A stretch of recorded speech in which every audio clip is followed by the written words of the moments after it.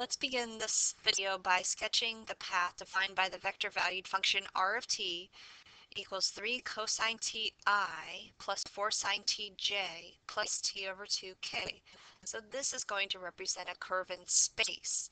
Now the i and the j, we can use a graphing calculator in parametric mode to determine the path um, without looking at the k component. So this would be, if we were looking at this curve in space from the positive z-axis, we would be looking down at the graph and seeing only um, two dimensions of the path. So if you press the y equals in parametric mode and enter 3 cosine t, and I'm in radian mode here, and y equals 4 sine t. And I start off with a standard zoom, go into zoom and 6 for standard. You see the, the path that's that is generated by the i and j components is the path of an ellipse. And you can do conversion equations to get from the parametric equations to the rectangular equations. So that's going to help me um, visualize part of this. I want to continue further here to determine what the three-dimensional graph is going to look like. And I'll start off with a table, t and r of t. And I'll plug in different values of time since we're dealing with trig functions here. I'm going to start off with, say, t equals 0, t equals pi over 2, pi, 3 pi over 2, and 2 pi. By plugging in 0 for t for all of these, you get the location on the path. That would be the endpoint of this vector, 3, 0, 0. that's a point in space. Let's continue on. At t equals pi over 2, you get the vector 0, 4. And pi over 2 divided by 2, I'm going to just use a decimal to approximate it, approximately 0.8 at t equals pi, and you can also trace along your with your calculator to see the first two components. At t equals 0, the location is 3, 0.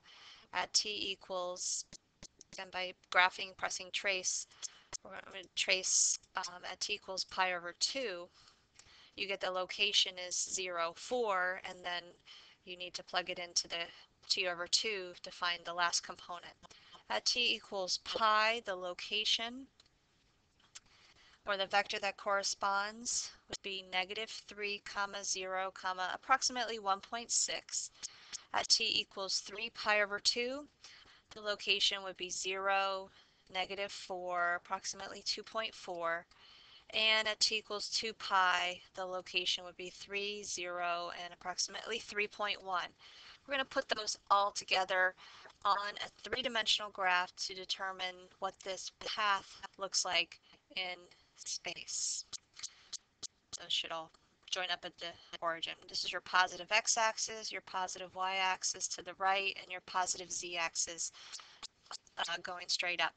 The first location is the vector with components 3, 0, 0, so that's going 3 units in the x direction, 0 units in the y and z direction t equals pi over 2, that's 0 in the x, 1, 2, 3, 4 in the y, and then approximately up a little bit 0.8.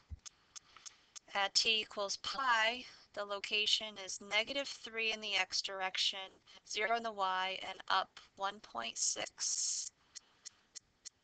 About twice as high as the last point. At t equals 3 pi over 2, the location is 0, negative 4 in the y, and up 2.4, a little bit higher. And then finally at t equals 2 pi, the location is 3, 0, and then up 3.1. So as it's being traced along this elliptical path, defined by the i and j components, the z component or the k component is increasing as time increases. Let's put those all together to make a path in space. And you can continue on in increasing the value of t and sketching and you'll notice that this graph becomes like a spiral. going up the page and do indicate the orientation as time increases the path is going around this spiral graph.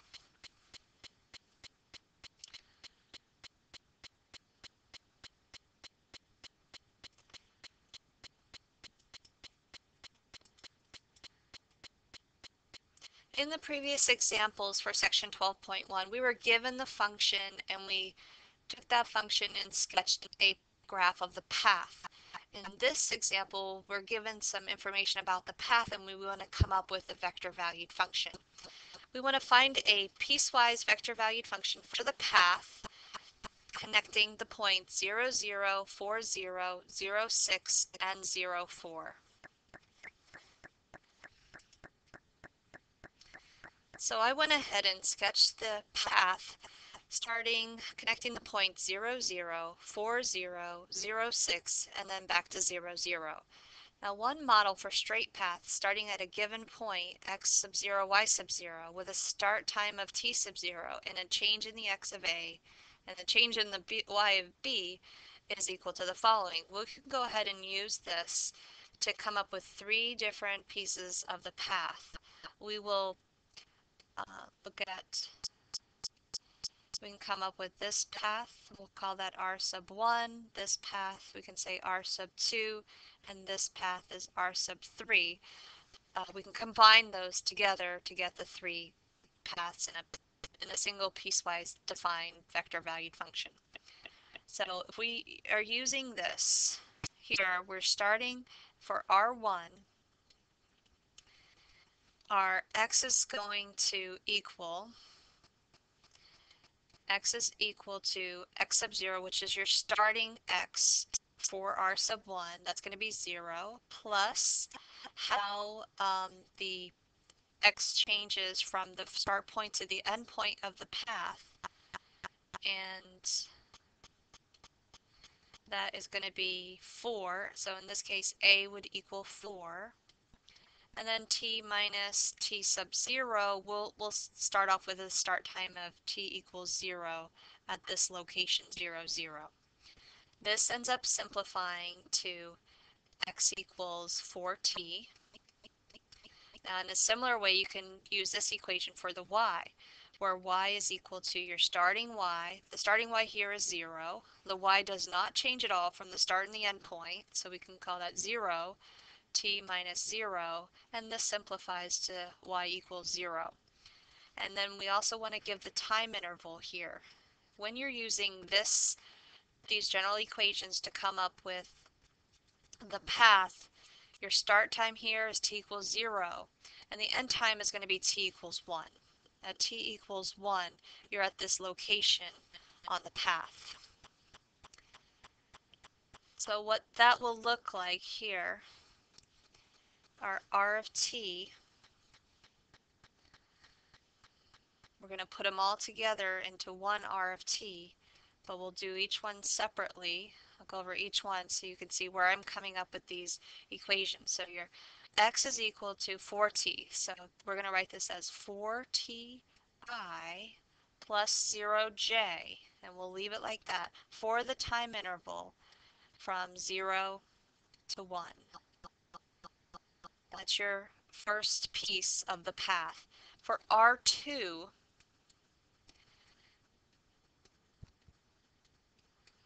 we're going to use x equals, our starting x is at 4, so x is going to equal 4. How does the x change from the point 4, 0 to the point 0, 6? It changes by decreasing by 4. So we're going to write this as minus 4 and then t minus t sub 0, our start time for this second piece of the path is 1. So you get 4, that's your starting x. The x decreases by 4 to this end, ending x. And then t minus 1, since your time interval starts at 1 for that piece of the path. When you simplify this, you get the 4 minus 4 times the negative 1. So it ends up being 4 plus 4, which is 8 minus 4t. Now let's let's figure out the equation for the y. y is equal to your starting y. For this piece of the path in R2, the starting y is 0. The y increases by 6, so we're going to add 6. And then it's going to be t minus t sub 0. The, the start time for that piece is, is 1. When you simplify this, you get y equals 6t minus 6. And this is going to be from the time interval from t equals 1 to up here, t equals 2. So our second piece of the path we can define as 8 minus 4t i plus 6t minus 6j. And that is for the time interval from t equals 1 to t equals 2.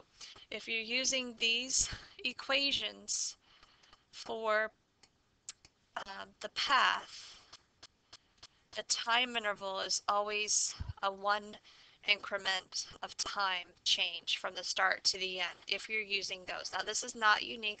There are many, many ways of representing this path. I am, I am showing you one method.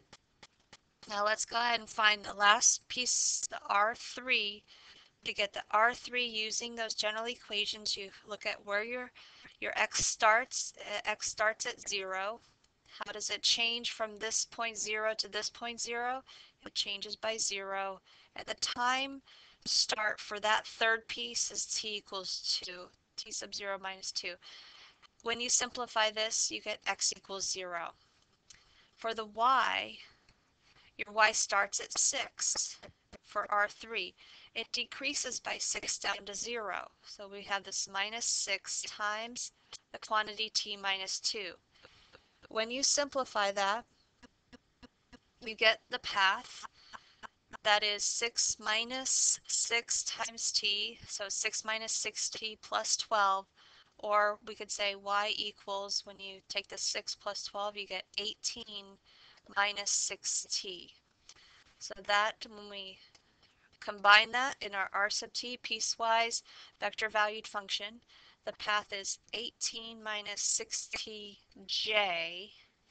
and the time interval for that last piece of the path is starting at t equals 2, going one increment of time to t equals 3.